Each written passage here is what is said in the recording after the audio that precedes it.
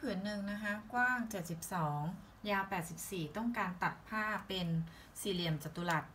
นะคะให้ได้ผืนที่มีขนาดใหญ่สุดและมีขนาดเท่า ๆ กันโดยไม่เหลือเศษผ้า ผ้าที่ตัดแต่ละผืนยาวด้านละกี่เซนติเมตรและตัดได้จำนวนกี่ผืน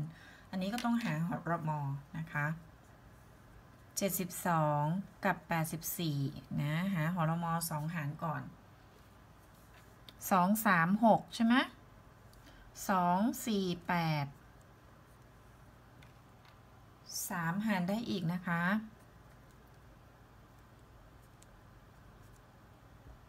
สองหารได้อีก จบนะฮะหอรอมอเท่ากับเท่าไหร่สามคูณสองคูณสองก็คือสามสี่สิบสองนั่นเอง เพราะฉะนั้นกว้านยาวนะฮะผ้าผ้า สี่เหลี่ยมจัตุรัสนะฮะกว้าง คูณยาวเท่ากับเท่าไหร่ 12 คูณ 12นะฮะ12 คูณ 12 นะคะ แล้วก็ถามว่าได้กี่ผืนใช่ไหมพื้นที่สี่เหลี่ยมก็คือ 12 คูณ 12 เท่ากับ 144 แล้วพื้นที่ผ้าล่ะ พื้นที่ผ้า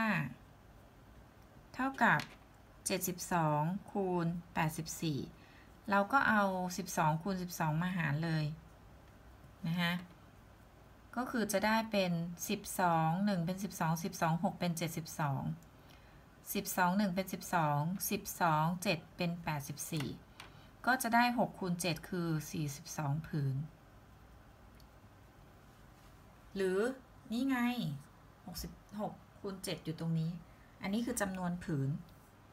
เนี่ยคูณกันได้จำนวนผืน ส่วนตัวนี้นะจะได้ความยาวของด้านนะคะ ตอบนะคะว่าผ้าที่ตัดแต่ละผืนจะยาวด้านละกี่เซนติเมตรคือ 12เซนติเมตรและตัดได้จำนวนกี่ผืนคือ 42 ผืน